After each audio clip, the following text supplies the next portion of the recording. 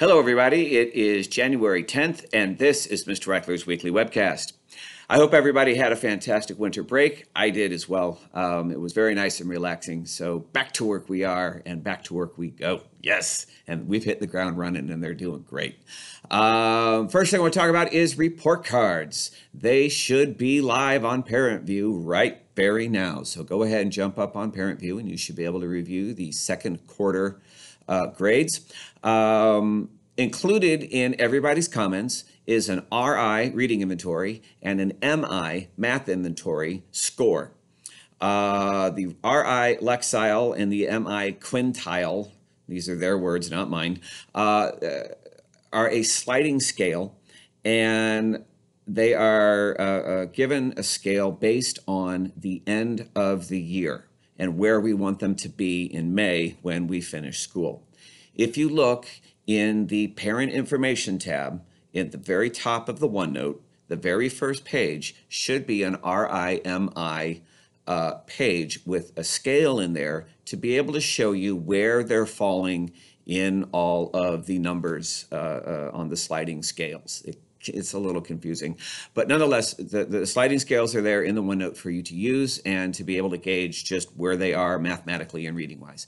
Reading wise, almost every single person in class is on grade levels. So that's huge. I love it. I love it. I love it. I love it.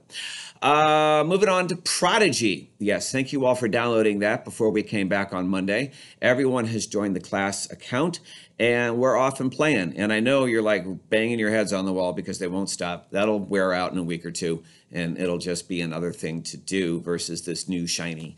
Um, do me a favor, don't tell them they're learning, please. They think it's a game. They have no idea that they're working on their math skills as hard as they are. They're enjoying it. And they're having a great time. Uh, all things in moderation, though. You know, screen time, I, I, support you 100%. They really don't need to sit and play it for three hours straight. Uh, it's really not intended to be that kind of a game. Um, also, please don't buy the premium account. You don't need it for what we do. It's a free app, it's a free game. The premium account just gets you some more bells and whistles, but it doesn't really uh, aid the uh, education process. So you do not need to spend any more money. Um, the nice thing is, is that I can assign standards for them to work on, to reinforce, to practice, uh, to extend based on where we are and what we're doing in math. So it's it's a it's a great learning tool for them, and they do enjoy playing it. So hey, why not use it, right? Um, moving on, the 10 book challenge. Yes. This challenge is completed Friday, April 3rd, 2020. That is the Friday before we go on spring break. And uh, their reward for completing the 10 book challenge is an invitation to a big ice cream party. Uh, and I'm not going to get that big bucket of icky white ice cream generic stuff. We're, we're going premium blends here. We're going top shelf all the way. Uh, so everyone's going to get their own little uh, uh, uh, pint of ice cream and hot fudge and cherries and whipped cream and sprinkles and all the other goodies that go with it. Uh, and we will celebrate a, a job well done. Uh, what is this 10 book challenge? Well, if you look in their reading journal, under the Reading Logs tab, you will find the 10 book challenge page. And uh, there's nine different genres, you know, fantasy, uh, science fiction, uh, uh, uh historical fiction, uh, informational, all that stuff. And their goal is to read one of each of the nine genres that is outlined in on that page. Um, and then from there, they, they can read a 10th book under their favorite genre bunch of things happening here. A, we're getting them to read, which is a must. We got a bunch of them who aren't reading as much as they could or should be. Um, B, we're getting them excited about reading and we're getting them exposed to different genres. So many of them are pigeonholed, and I only want to read the I Survive books. I know, right? Um, and this is going to break them out of that and get them uh, experimenting in other genres and in other flavors of books. Um, the only real restrictions, aside from the genres, are the books need to be at least 100 pages long. I'll go down to 95 ish, but not much lower than that. Um, also, don't put it off until, you know, April. um, really, we got to start this now. It's a long process. I don't want them to be left out. I don't want them to uh, uh, be cramming, trying to read 10 books in two weeks because it's the end of March and you know it, it's due tomorrow. Um, it, it's, it won't work that way. So everyone seems to be fired up about it, which is awesome. Everyone seems to be reading right now, which is awesome. If you would help me continue that motivation, uh, keep reminding them about that ice cream party and how wonderful that ice cream is going to be. And uh, hopefully we'll get those reading levels shooting up through the roof because we'll be reading all these kinds of wonderful, wonderful books. Finally, what's going on in class? Well, it's the first week of a new semester, the first week of a new quarter. So, of course, we're starting all kinds of new stuff.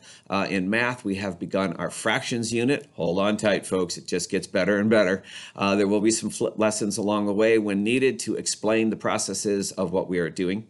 So don't panic when they're showing you something new. And please, again, with as with always with math, don't show them your way to do it because that really just confuses them even further. Uh, reading, we have begun a Roald Dahl study. Uh, we are reading two books, Matilda or BFG. All the girls are reading Matilda, all the guys are reading BFG. If time allows, we're going to flip and uh, read the other books down the road. We'll see. I don't know how long this is going to take. I'm doing some new units with these. So uh, it's my first time uh, uh, teaching these new units. I've taught these books for years. Uh, but this is a brand new reading unit that I'm doing with them. So we'll see how long that takes. If there is time, we'll read the other book. Writing, we have begun our opinion writing, and we are writing an opinion about Fortnite. Nothing more controversial in their eyes, as far as I can tell.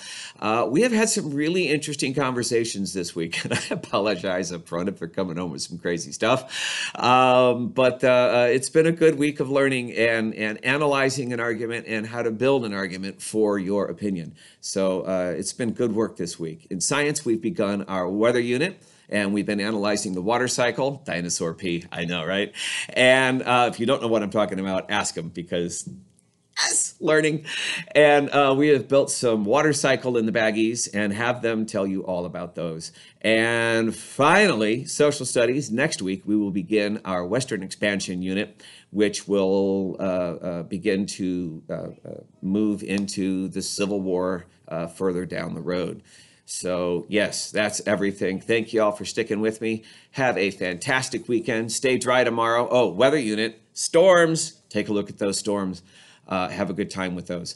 And uh, uh, hopefully, we won't get too blasted tomorrow. Everybody, have a great night, a great weekend, and we'll see you all on Monday. Oh, that reminds me Target starts on Monday. Don't forget, go to Target on Monday if you're a Target kid. Bye, everyone.